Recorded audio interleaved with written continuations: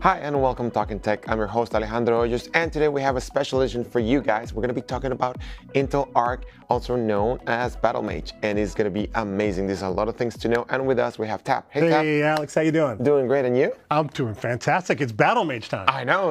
It's so excited. You know, been waiting for this for such a long time. I know. And one of the things that we're going to be covering today, right here, right now, is this new XeSS 2. Yes, XeSS2 is a super exciting technology. It combines super resolution with frame generation to dramatically improve performance for games. As a matter of fact, Alex, when you're using XeSS2, you're only going to see rendering of one pixel and AI is going to generate seven more. So one out of eight pixels is raster and seven out of eight is AI. I can only imagine how, how more efficient and quick you can do that. It's way more efficient. You can get way higher performance and it's crazy tech. So why don't we dig into it? I'll give you a little sense of what we did. Sure, let's go. All right, so this is a chart that kind of shows you our options as engineers, right? Mm -hmm. We mm-hmm. can we can either do a traditional algorithm, which is kind of this bottom thing where you're looking at doing shaders and traditional calculations, or you can embrace AI, and that's what these algorithms are on the top. These are all AI-based algorithms, and you either have another choice of you can either be game integrated, where you're using lots of information, or you can be just driver-based. When we right. think about those trade-offs, it's a little bit harder to do game integration, and it's a little bit harder to do AI, but you get much better results, and that's where XeSS2 is. It's AI-based game integration generation. Okay, that makes sense. okay. A little bit more on the AI side. Yeah, so if we dig into what that looks like, start with what's the benefit of doing an AI-based application. Mm -hmm. This is showing you before and after when we're looking at just super resolution. An early version of XeSS is on the left, and later, this is a later version after we completed our training, it got way better. And the only thing that we changed was we gave the model more data. So one of the best things about AI is as you increase your data set, your algorithms automatically get better. And get better, gets you know, better resolution. Better results, and you don't have to have engineers that are redoing a bunch of stuff, right? So it makes a big difference. Yeah, it's time and time and money. Yeah, of course. Now this is XeSS 2.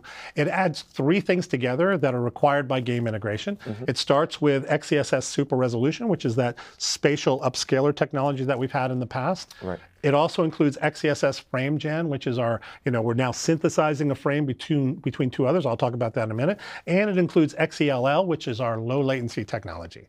Now, we just got done with the video. I would say if anybody wants to check it out, it's going to be on the same site, right? Correct. It's going to be there. So if you guys want to check and learn more about low latency, uh, just check out Intel Technology in YouTube. It should be right there with us. And we're going to be talking again. So. All right, so let's dig into XeSS SR. And this picture is a pretty good animation. It's got depth and motion vectors and a low res uh, image that comes in.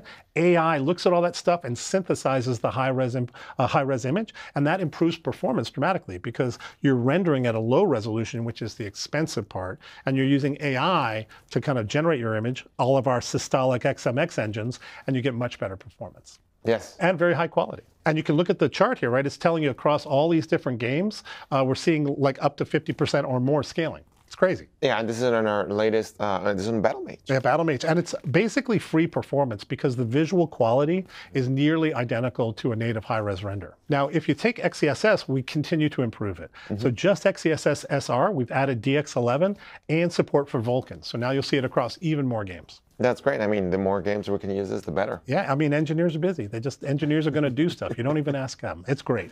All right, so now digging forward, we're going into XeSS FG. Mm-hmm. Now, this is the new technology where we're actually generating a frame between two prior rendered frames, and I love it. It basically says take full resolution images and motion vectors and depth and put it into our, our dual AI engine and generate an interpolated frame. It's pretty cool. That is amazing because you're like uh, future and past. past. And what should be in the middle? You're asking AI what should be in the middle. Now, the way we do it is we actually use two different types of AI networks. The first one I call optical flow reprojection. Mm -hmm. And what that guy's job is to look at a prior frame and a next frame and maybe a couple others, and you're going to try to predict where pixels are moving on the screen.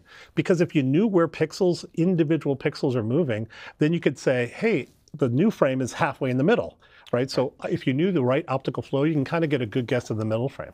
The other thing we do is we're taking in motion, motion vectors and depth, and we're using the same idea. Where should objects move? And maybe we get a different estimate based on motion vectors. So the idea of that third network, the blend, is to say, I've got multiple candidates for the color of this pixel based on different algorithms that I've run. AI gets trained for which one to pick given the outputs of the intermediary stuff. So we've got two AI networks that are working together to get the best answer for the interpolated frame. Right, and like we said earlier, this only get better because you already have the models and you just need more data. More data. More data is going to get better over time. It's like fine wine, Alex. Yeah. Fine wine. All right, so here's that algorithm I said in action, right? We're taking motion vectors, high-res frame in, and we're synthesizing the frame using those dual networks, and then that frame gets inserted into the series of frames that's going on the screen, and we pace it so that the animation is smooth. It's a very neat technology. It is, it is, I mean, it's smart. It is It's really, it's Smart. brilliant. Hey, engineers, man. Okay, so how do we think about this technology? Well, in this example, this is F1 2024. Mm-hmm. On the left, we're running the native render at around 54 frames per second. Right. In the middle is XeSS, which is our traditional upscaler technology. That doubles performance in F1 24.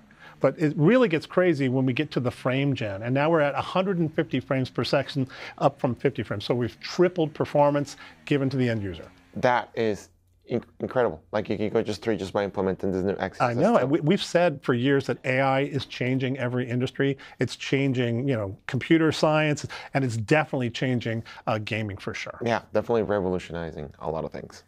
And I think that's it. That's everything on XeSS FG. I'm pretty excited. Our engineers have done a fantastic job, and it's going to be available with Battlemage launch. Awesome. I can't wait to have Battlemage. And for you guys, thank you so much for watching us. We had a great time. Hopefully, you learned a lot.